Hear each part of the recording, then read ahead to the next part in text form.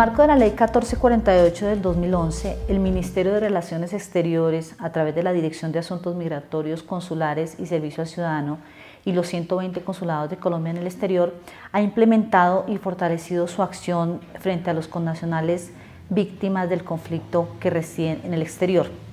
Desde el momento que entró en vigencia la ley, el año 2011, hemos recibido 12.292 declaraciones de personas al registro único de víctimas y se han incluido 24.861. Este registro es muy importante porque es el punto de partida para el futuro reconocimiento de los derechos y medidas de reparación y satisfacción que los van a beneficiar. Es la manera en que el Estado puede acceder para contactar a estas personas que residen fuera de Colombia y que son víctimas del conflicto. Cuando en el consulado atendemos por primera vez a un connacional víctima del conflicto armado, evidenciamos que es una persona que tiene una gran necesidad de ser escuchada, de que se le atienda personalmente, de que se le brinde información, apoyo, protección y de que se le asesore en su proceso. Toda esta labor institucional se coordina desde la Dirección de Asuntos Migratorios y Consulares a través del Grupo Especial de Víctimas en la Coordinación de Asistencia. Este grupo trabaja de manera muy cerrada y directa con los consulados de Colombia, 102 de los cuales han registrado víctimas en sus circunscripciones. Los consulados adelantan distintas labores, pero para ello el primer paso ha sido la capacitación de los funcionarios consulares. Recibir un testimonio, atender a una víctima Tenerla en el consulado no es una tarea que es fácil o para la que siempre están preparados los funcionarios, de manera que ese ha sido uno de los objetivos que hemos tenido para crear empatía y lazos de confianza de las personas con la institucionalidad en el exterior, más cuando tienen una doble condición, la de ser víctimas y ser migrantes.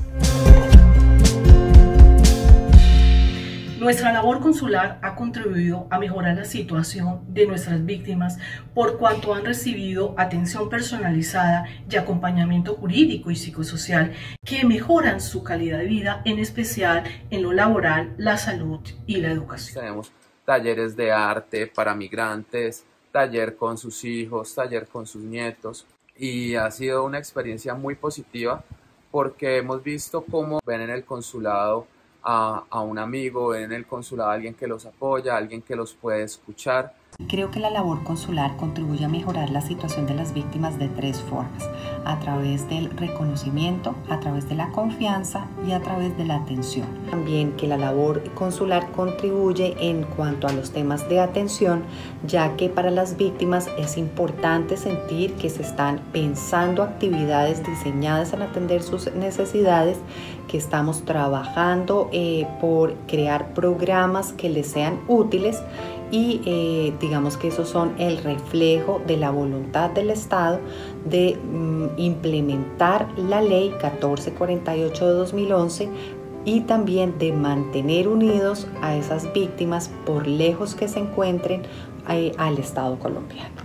Hasta el momento, desde la vigencia de la ley, hemos hecho en nuestros consulados 40.000 atenciones a víctimas del conflicto en el exterior no solamente para orientarlos sobre la ley, para decirles cuáles son los protocolos que deben seguir para que accedan a sus derechos, sino a través de muchas y diversas actividades. Sin lugar a dudas, eh, la reacción de las víctimas va a ser siempre de agradecimiento por pequeña o grande que sea la gestión que nosotros elaboremos. Y con ese agradecimiento, verdaderamente todo nuestro trabajo y todo nuestro esfuerzo valió la pena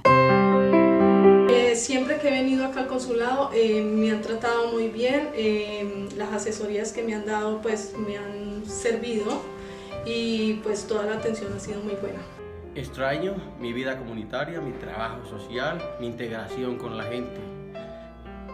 mi familia en Colombia y sueño con algún día regresar a mi país, retornar a mi país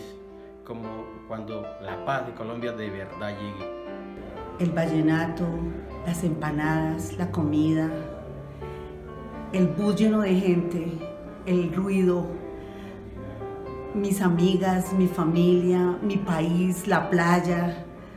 extraño todo. Las 40.000 asistencias que se han prestado en los consulados de Colombia en el exterior a las víctimas han tenido no solo el objetivo de orientarlos sobre la ley, sobre los protocolos que deben seguir, sobre las rutas para acceder a los derechos, sino que son una diversidad de actividades, medidas de satisfacción, apoyo psicosocial, asistencia consular, incluso herramientas para la adaptación al país en el que se encuentran, todas acciones que mitiguen los desafíos de esa doble condición, como ya lo dije, de víctimas inmigrantes. El compromiso se reitera y se reafirma además con la conmemoración del Día Nacional por la Memoria y la Solidaridad con las Víctimas cada 9 de abril. Eh, lo que más extraño de Colombia, mi cultura, mis raíces,